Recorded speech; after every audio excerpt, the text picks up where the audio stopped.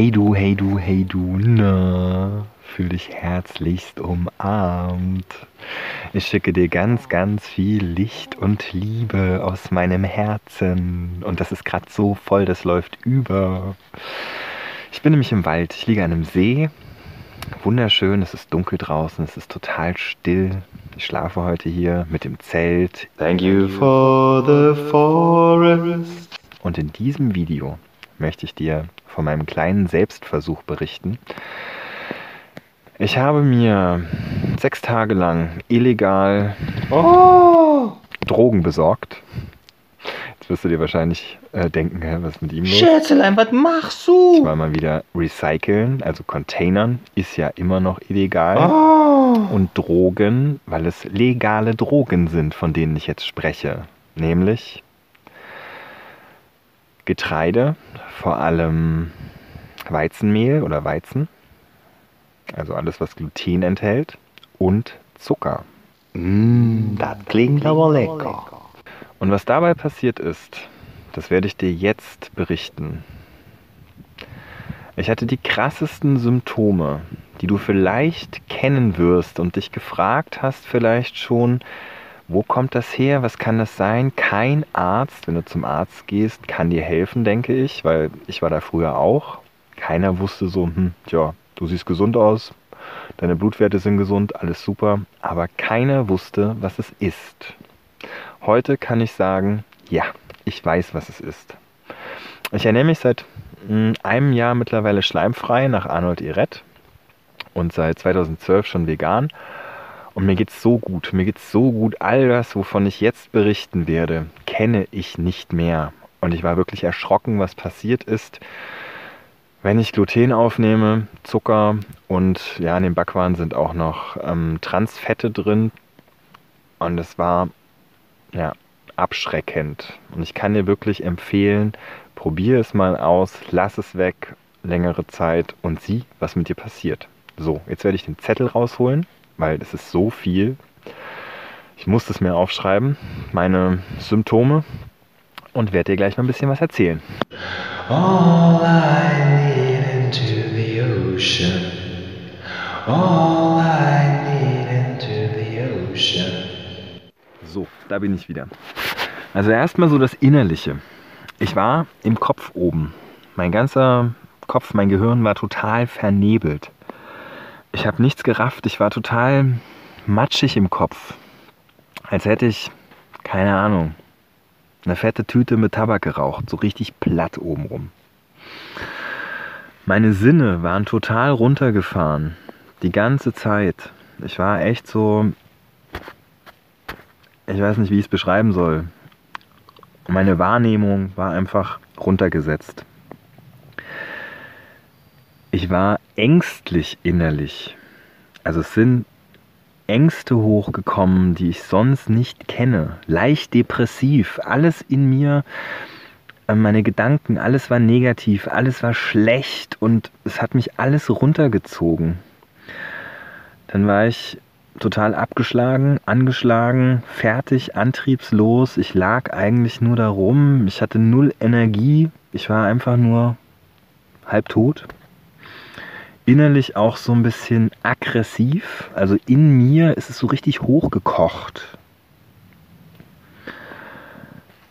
Ähm, dann hat es mich abhängig gemacht. Jeden Tag hat in mir so die Sucht oder vielleicht auch die Parasiten, Candida zum Beispiel, der freut sich darüber, in mir geschrien. Und ich bin halt los und hab mir wieder was geholt. Und das Krasse ist, ich habe die ganzen guten Sachen, die ich sonst so zu mir nehme, Obst, Gemüse, Salat, Wildkräuter, all das habe ich fast zum größten Teil gestrichen. Ich musste mich echt überwinden. Also so, ich wollte es gar nicht mehr. Es hat mich in, innerlich auch total unruhig gemacht. Und ich habe mich, mm, was auch nicht so meins ist, auf Diskussionen eingelassen. Also wenn ich, das ist für mich so wie so ein kleiner Krieg, wenn ich merke, dass ich anderer Meinung bin, und man dann so eine Diskussion anfängt und gegeneinander, bam, bam, bam, und jeder will seine Meinung durchboxen, an der Stelle höre ich immer auf und sage so, hey, du hast deine Meinung, ich habe meine Meinung. Vielleicht nehme ich den noch in den Arm, am besten, das ist das, das Beste, was du machen kannst, kann ich dir sehr empfehlen. Wenn es Diskussionen gibt oder Streit, irgendwas, dann hingehen, umarmen und sofort ist alles wieder runtergefahren. Ja, und das ging bei mir nicht so richtig. Also ich wurde so leicht innerlich aggressiv und diskussionsfreudig. Dann jetzt zum körperlichen. Meine Verdauung wurde extrem langsam. Man könnte es schon fast Richtung Verstopfung deklarieren, aber so krass war es noch nicht, aber langsamer definitiv. Mein Bauch war aufgebläht. Ähm, das, was so hinten rauskommt, die auf Deutsch gesagt Scheiße, stinkt auch wie Scheiße, was ich auch nicht kenne. Die Pupse ganz genauso. Morgens, wenn ich aufgewacht bin, war mein Gesicht so richtig aufgequollen und meine Augen so richtig unten so Tränensäcke. So richtig, ja. Ich hatte Wasser in den Beinen. Ich habe abends immer so einen richtigen Druck gespürt in den Beinen. Meine Gelenke haben angefangen weh zu tun, haben leicht auch geknackt. Meine Haare wurden extrem dünn und fettig. Kenne ich aber auch von früher. Und was mich extrem gestört hat, wenn du abends im Bett liegst und so die Beine aneinander hast, liegst auf der Seite und die Oberschenkel so aneinander und es fängt an zu kleben dazwischen. Vielleicht kennst du das. Und auch so die, die Arme am Körper, wenn es alles so klebt, das geht gar nicht. Und ich musste jeden Tag duschen. Nicht nur deswegen, auch wegen meinem Körpergeruch.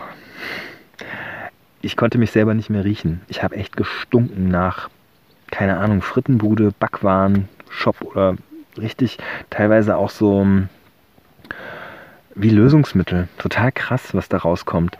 Weil in diesen ganzen Backwaren, also in dem ganzen Getreide, ist ja auch ganz viel Chemie drin. Also so Pestizide, Insektizide, Chemie. Und ich weiß auch nicht wie viel, wahrscheinlich genug. Die sind auf diesem Weg anscheinend wieder rausgekommen. Dann hatte ich am, ich glaube, fünften Tag Erkältungsbläschen auf der Zunge. Die habe ich, also all das, was ich jetzt gerade erzählt habe, hatte ich die letzten Jahre absolut gar nicht. Ich war auch null krank. Ich bin seit 2011 nicht mehr krank gewesen. Ähm, dann habe ich am sechsten Tag aufgehört damit. Die Erkältungsbläschen sind weggegangen. Und ich war auch so ähm, leicht erkältet, würde ich es nennen. Also bei mir kam richtig Schleim aus der Nase, aus dem Hals. Meine Stimme war total belegt. Also das, was man so unter Erkältung versteht, hatte ich da auch. Das war, nachdem ich das abgesetzt habe, ich habe dann erstmal mich gereinigt innerlich mit einem Einlauf, einmal Wasser und Kaffee danach.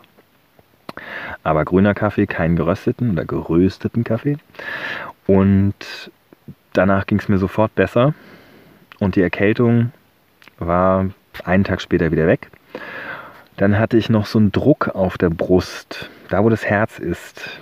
Und das hat mir schon echt so ein bisschen komisches Gefühl gegeben. Und ich sehe schlechter, wenn ich mich von solchen Sachen ernähre. Ich habe auf der Pupille sowas wie Schleim würde ich es jetzt bezeichnen, so einen richtigen Schleimfilm und ich sehe in die Ferne wirklich total unscharf. Ja, das waren so meine Erkenntnisse im Selbstversuch. Sechs Tage lang habe ich mir das nur gegeben. Und die meisten Menschen essen das ja täglich und ihr ganzes Leben schon. Vielleicht kennen Sie diesen Zustand, von dem ich spreche, wenn ich mich jetzt nur noch von Obst, von Gemüse und von Wildkräutern ernähre. Vielleicht kennen Sie ihn gar nicht und meinen, Ihnen geht es gut. Oh, mir geht's so gut. Ich wünsche dir alles, alles Liebe, alles Gute. Ich danke dir nochmal, dass du zugehört hast, dass du da bist, dass es dich gibt. dass du mich unterstützt, für deine Likes, für die Kommentare unten, für alles. Danke, danke, danke, danke. Und ja, verabschiede mich jetzt mitten im tiefen Wald am See. Vielleicht gehe ich nochmal ins Wasser, mal sehen. Und wünsche dir nochmal alles, alles Liebe. Ciao, ciao.